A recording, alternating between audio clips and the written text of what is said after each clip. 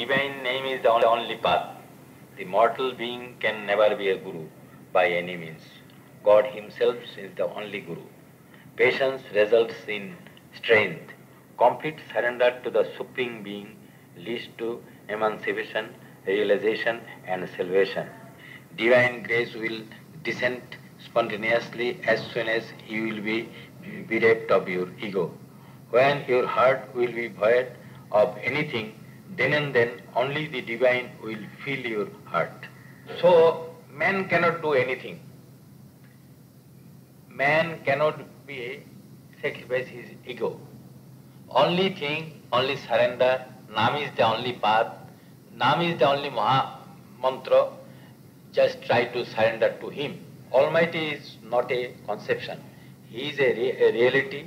He controls everything. Man has no power of his because the body is not his own. Life is one. Atma is one in all beings. So he has no distinction between a Hindu, Muslims and Christian, etc.